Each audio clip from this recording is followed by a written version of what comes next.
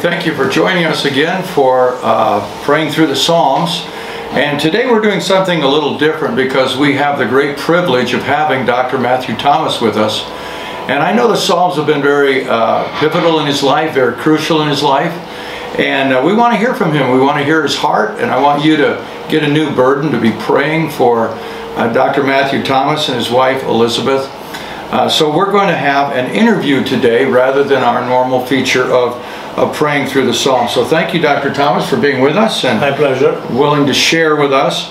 Uh, Psalm 102, verse 28, is a promise that we have that the children of the righteous will dwell secure and their children will be established in the Lord. And I know your dad and mom were godly, uh, a godly man, a godly woman. They felt the call of God to minister to India and almost like missionaries to their own country, as it were. God did phenomenal things o- over the course of their life. And yet there were many times that it was just them in prayer.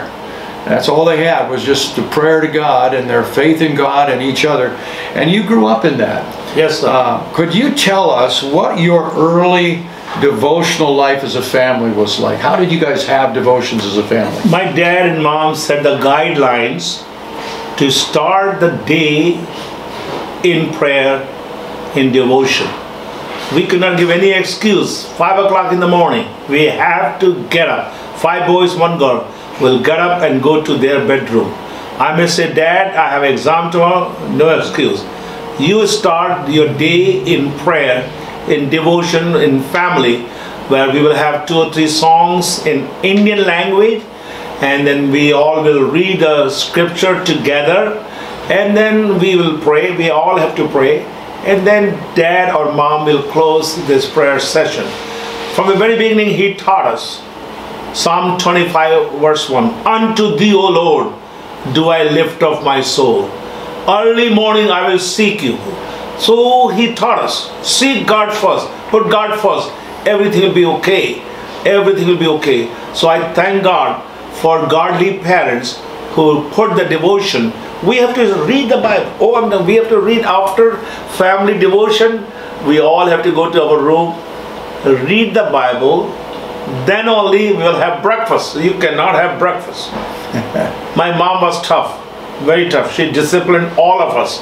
So yes, we'll read. You know, being a young kid, you know, nine year, I wanted to do my own way. Sometime I want to eat first because we didn't have that much food, and we have six people to eat. You know, someone can get more, and I will not get it.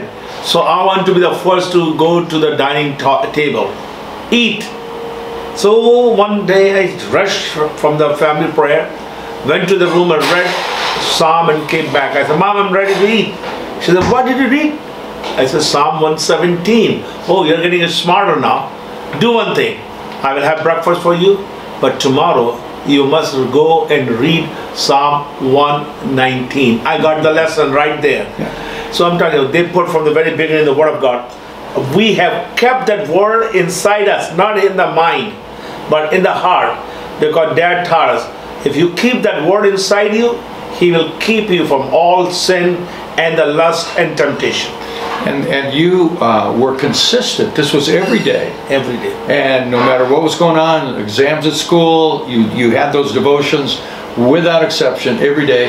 And I'm sure that when God took your dad on trips, he came over to uh, America, preached different places, your mom would carry that. You would have, Yes. you wouldn't miss a day. We will not miss a day. And even if Dad, Mom is gone, we have to do that thing. Yeah, yeah. And they were a small house, but we all will come to one place, pray together, and seek God for the blessing for that day. I thank God. Thank God they put the love for His Word, and still we do now. After so many years, still we read the Bible. I'd rather read the Bible than to listen to someone or go to a conference. I want to learn this Bible, apply it. I believe it. The only one thing we made the change, which is through my dad, take one scripture or you call verse of the day and meditate whole day and see what God will speak to you through that one verse of the Bible. And we have been blessed. We have been blessed. We are teaching our children and our grandchildren same thing. They cannot, they cannot even start the car. My wife will not allow my uh, daughter or son-in-law to start the car unless they pray. Unless they pray. Unless they pray. Now, you have seen the, the reality of this scripture in Psalm 37. I've never seen the righteous forsaken or his seed begging for bread. Now, your mom and dad were righteous, you are their seed, and you've seen God's provision. Yes. Can you think of some answers to prayer out of those devotional times about God's provision? Yeah, I remember one time there was no food in our house, and my older brother was maybe 13, I was 11. And dad said, Pray, God will provide. Just think no credit card, no bakery like you have here in America, we didn't have bakery, nothing. He said, Just pray. We prayed few minutes, no breakfast. Lunchtime we went to dad, dad, we are hungry. He said, pray. Dinner, no dinner. He said- pray. God has his own way and timing. Around midnight, young man comes and knocks our door, tiffin in his hand. Breakfast, lunch, and dinner, all three meals together we had at midnight. Midnight in our life had the miracle. Thank God for that. Amen. So that consistency of prayer was built into you, then into your children, now into your grandchildren.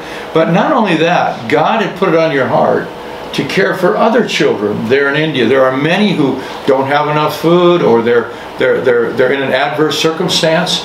And God put it on your heart to minister to the children of India. Tell us about that. Yes, when I took over the ministry in 92, we were walking in the streets of Itarsi and I saw many kids begging, eating from garbage can. Broke my heart. I said, I must do something. I said, Lord, give me an idea what to do. An idea came to start a place for helpless and hopeless children. We took them, we are feeding them, three meals a day, providing clothes, providing education, everything is we are doing now. God has been good. We are seeing the results. One of the boy from the orphanage is in medical college now, second year. 14 years ago he came. I, and then these boys and girls are memorizing the scriptures. I'm talking, there was a pastor who came and he announced that he'll be teaching book of james. He announced on sunday morning. By tuesday morning my boys have memorized book of james. The teacher could not believe he is going to teach but he didn't know all the scripture. And this boy has memorized. Another boy had memorized psalm 119 another boy had memorized ephesians all six chapters without any mistake. They are memorizing the scripture because we know one day bible will be taken away from our hands in india. But no one can take the scripture which is in the heart. Thank god we have put the word of god into their hearts. Amen. I was I was there with a couple other pastors one day when uh, a couple of young men were going through mm, uh, reciting by memory Psalm 119. The other guys were following along in their Bibles. I, I wanted to watch the kids, but they didn't miss a word. They up from the King James. They didn't miss a single word. So God intervened and provided everything you needed, and I'm sure you've seen in the orphanage many times. Many times. How, how is COVID and here you have all these kids and, and COVID hits. How did God come through? Were there any miracles of provision during the COVID time? many miracles not just the only provision but miracles of god thousands and thousands of people died in my town 29 people died in my own church but all the boys and girls of the orphanage and bible college seminary no one got sick they all were in one campus we had to put them in one campus for 11 months they were locked in I thank God. I thank God for God's protection and the provision. Oh, I'm talking, there was no food. One day, warden called me. They said there's no food in the orphanage. I said, pray. Take all the girl boys in the room and pray. Uh, while they were praying, a truckload of 400 pound of rice was delivered. God has been good. God who provided for George Mueller is providing for us in Itarsi. I thank God. Amen. God. God, God is so true to His Word, isn't He? Um, what would you say is your vision for the next, say, three to five years? What What has God put on your heart that we can be praying for you about concerning the work God's called you to do? Yeah, we have planted more than 1900 churches. I cannot spread too thin. I'm in 74 now. My desire for next three to five years to raise 25 key leaders. I will download 25 hours of my experiences and the Word of God, and they have to go and teach 25 leaders under them within two years' time. So what will happen? We'll raise strong leaders who love the Word of God. So I, that is my goal, number one. Number two is to have my successor ready to take over the ministry. So, believers, friends, I need you to pray that God will have my successor ready next to two to three years. It will happen because we are praying. Number three, the goal for next three to five years is to have a global prayer net network. They call global network of prayer. Means I will start in India and connect different churches, and we can pray same time, whatever time is good. So thousands, thousands of intercessors will be praying for one need, two needs, five needs. Will flash that thing on the screen so you all can join with us. Global Prayer Network. Amen. Well, what you're describing there, it says uh, in Timothy, uh, 2 Timothy 2 2, and the things that thou hast heard of me among many witnesses, the same commit thou to faithful men who shall be able to teach others also. Yes. So, people, will we be praying? Can we, will you make a commitment to pray for Dr. Thomas and the ministry that God would raise up those 25 and that God would continue this work of discipling until it becomes hundreds, thousands, and, and on and on as the Word of God spreads, as they invest themselves and the Word into the lives of people, both children and uh, other men that God is raising up. Well, that's that's quite a vision. Uh, how about personally for you and, and your dear wife Elizabeth? How can we be praying for you? Uh, for both of us, we need divine help. I believe in divine healing, but I also believe in divine health. We both have to walk in divine health every day, not just during COVID, but every day we want to walk in divine health. We want divine protection and divine provision. And God is going to do it. So please pray for us. Amen. We need that, that powerful prayer. I believe prayer has power. I have seen, I'm Christian for 67 years, and I've seen the power in prayer.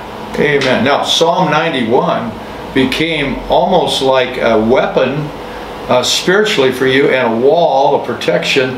How did you use Psalm 91 throughout COVID? Do you know that when Pastor Mark you came in our conference, you took Psalm 91 and gave four walls of protection. Wall of blood of Jesus Christ, wall of the angels, wall of the name of Lord Jesus Christ, and the blood of Christ. So we took that psalm during COVID 19 and we have not stopped that thing. It's almost 19 months. Every morning, every evening, when Elizabeth and I we pray, we take Psalm 91. That is our prayer before we read the passages. 91 has become great, great inspiration for us. We say, Lord, no sickness, no virus, no disaster, no difficulty, no danger will come close to our dwelling. And God has shown that scripture in our life. Amen. You know, uh, Dr. Thomas, when I think of you and, and your wife Elizabeth, as well as your dad and your mom, uh, one thought comes to my mind. When I look at these people and I think of these people, here's the thought that comes God's word is true. Yes. They embrace God's Word, they live God's Word, they confess and meditate on God's Word, and they see the reality of God's Word coming to pass. As the Bible said, uh, their children are now being established in the Lord. Uh, their children are not begging for bread. This is all the Word of God. Uh, their children will be blessed after them as they walk in integrity, as Proverbs 20 says. So they are taking the Word of God, living it, and seeing it come to pass. Yes. God's Word is true, and that consistency of prayer. Well, let's close our time by praying together. And I want to challenge you that are watching to make a commitment to every day pray for Pastor Thomas, Matthew Thomas, and his wife Elizabeth, the Word of God to come forth out of their mouth powerfully, the vision that he spoke of to come to pass, the divine health and protection and provision to continue. So would you make that commitment? They're committed to go and be there and do what they're doing. Will you be committed to pray for them? So let's pray right now. Father, Thank I you, thank Lord. you so much Thank for Dr. Lord. Thomas you, Lord. and Elizabeth. I thank oh, you for the heritage they've received and now are passing on. And we're seeing an, an explosion, a multiplication, and, and beyond that in terms of the Word of God growing and spreading and lives being impacted. So, Lord, give them that divine health, that divine protection, that divine provision. Raise up the people that you are calling and raising up and give them favor and continue to bless those children as they grow into men and women of God. And we thank you for this in the mighty name of Jesus. Amen. Amen, amen, amen, amen.